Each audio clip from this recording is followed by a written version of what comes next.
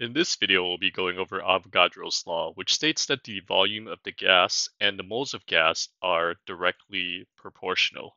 That means that if you if if there's more moles of gas, then it'll take up more volume, and if the moles of gas were to decrease, then the volume would decrease as well. So the moles and volumes they move in the same direction, and that's that should be easy to understand because if the you just think the more gas there is, the more space it'll take up. The less gas there is, the less space uh, the gas will take up. So then there's a direct relationship. And so the graph will look like this, where when the number of moles of gas increase, the volume increase, and if the number of moles decrease, then the volume will also decrease. This is the equation that you would use for a, a Avogadro's law problem. V1 over N1 equals V2 over N2. This is how a problem will look like. 5 liters of a gas is known to to contain 0.965 moles. If the volume of gas is increased to 1.8 moles, what is the new volume? So here we have a change in moles, and we want to figure out what the final volume would be. So let's label the variables. This is our initial volume, V1. This is our initial moles, N1.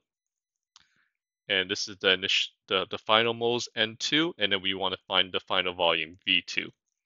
So then we can just substitute into the equation. V, V1 is 5 liters, N1 is 0.965 moles.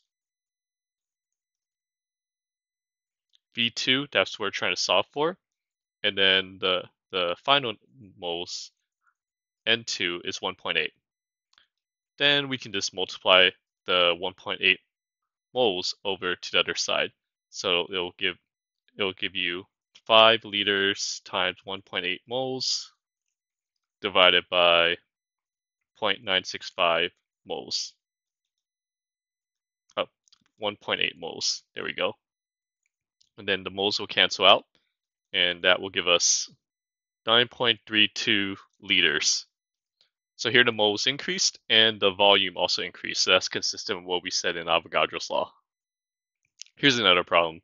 A flexible container at the original volume of 5.12 liters, that's our V1, contains this amount of moles. That's going to be our, our N1. More gas is added to the volume to the container until the final volume is, is 18. And that's going to be that's going to be V2. And it says assuming that pressure and the temperature stays the same, calculate the number of moles that were added to the container. So we're not trying to figure out what the final final moles is, we're trying to figure out how many moles had to be added to change the volume.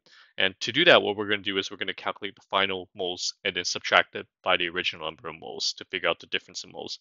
Let's set up the equation V1, 5.12 liters, N1, original number of moles, 8.5 moles, equals to V2, 18.1 liters, and then we don't know what N, N2 is since uh, n is on the, the variables on the bottom, what we're going to start is cross multiply. Whenever your variables on the on the bottom of the fraction, start by cross multiplying.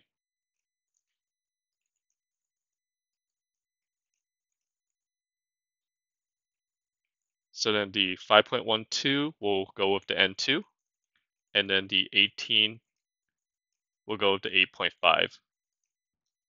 Then to isolate the n2, we're going to divide both sides by 5.12 liters.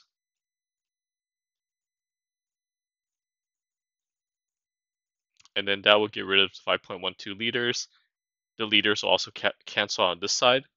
So that means N2 will be equal to these two numbers on top multiplied together divided by the 5.12 on the bottom. And that gives us 30.0 moles. That's the final final amount of moles.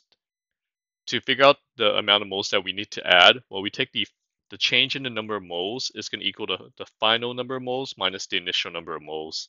So the final is 30, and the initial, the one that we started with, N1, would be 8.5.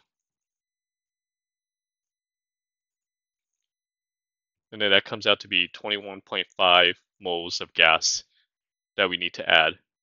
And that's the final answer. So just to recap, Avogadro's law states that the volume and moles of gas are directly proportional. If you have more moles, then you have more volume. If you have fewer moles, there's going to be fewer volume. This is how the graph looks like, and this is the equation you use when the problems deal with changes in volume and changes in number of moles.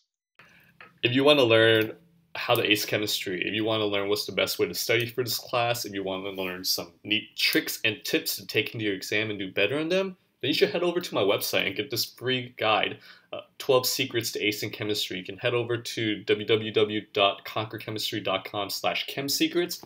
I'm going to include a link in the description below. Check it out. I think it's really going to help you and you're going to you're going to like it. Until next time, keep working hard and continue the good work.